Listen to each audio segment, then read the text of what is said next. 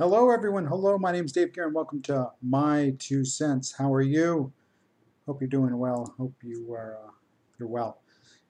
Today, my two cents. Uh, it's been in the news recently, and it's been in the news a lot. And it's a real thing. It's a real issue. I know I talked about the distractions, and don't let the distractions distract you from what's real and what's happening. And now it's to a point that, well, now these numbers are real. These situations are real. These are happening to real people. And now it's time to do something. Well, it, it should have been time to do something. Uh, CNN reports U.S. drug overdose deaths reached new record high.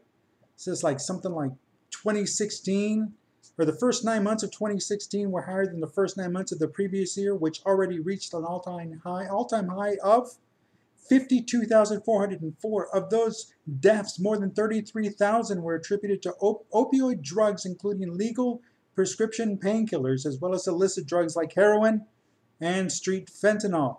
Folks, it's a real problem. It's a real issue. It's something that, well, could have also have been prevented. And here's my two cents. The thing is, is that a lot of these drugs, even though they take them for real legitimate reasons in these legally prescribed situations, and whatever the doctors decide to do, that's the doctor. But you as the patient, as as our loved ones as patients, as our friends as patients that take these drugs, we also need to check up on them. I know we're not professionals and we don't know how they feel, but sometimes those medicines will mask and just says, you know what, I just need this to feel good. The pain is just too much. Well, yeah, the pain's going to be too much. But if you don't seek help and look for a way around that and to deal with it and to get rid of it, maybe there's an alternate method to get rid of the pain and it's not it's not popping pills. It's not dropping out of people dropping out of life for just a couple of minutes because hey, it's fun, it's hip, all my friends are doing it. That's not what it's about.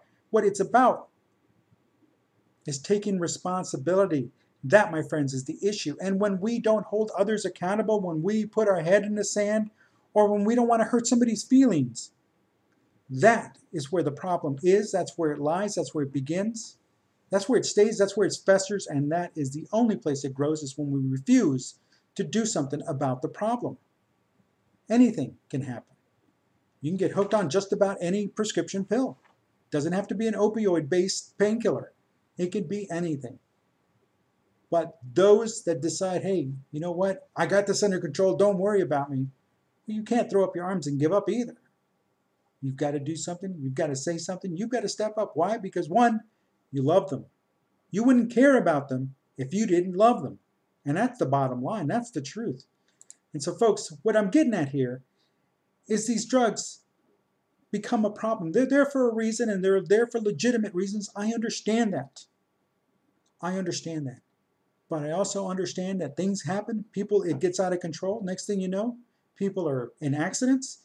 People are killing themselves or they're killing others innocent people. But nobody wants to look at that. Because again, nobody wants to hurt anybody's feelings. Folks, it's too late for hurting anybody's feelings. If you're big enough and mature enough mentally to think you can handle the drug and you get hooked, well, guess what? You're also mature enough and mentally strong enough to take the criticism and to say, you know what, enough's enough. Folks, those are my two cents. Talk to you next time.